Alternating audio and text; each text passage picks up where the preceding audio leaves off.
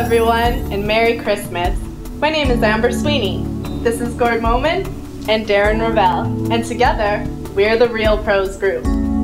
Thank you, Amber. 2007 was a very active year in real estate. We'd like to thank you for allowing us to go to work for you. We've met some great people and have made many new friends along the way.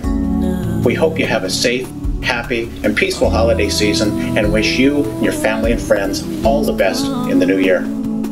Christmas is a time to be thankful for what we have. It is also a time to give back more than we usually do. So this time we'd like to say thanks because we couldn't do it without you. In a few days it's going to be 2008. And each one of us will have new hopes and new dreams. Some of your goals or dreams might include real estate this year. Should you or someone you care about need our services, give us a call. We would love to help you or someone that you love make your dreams come true. But until then, Amber? Amber? Amber? Merry Christmas and a Happy New Year!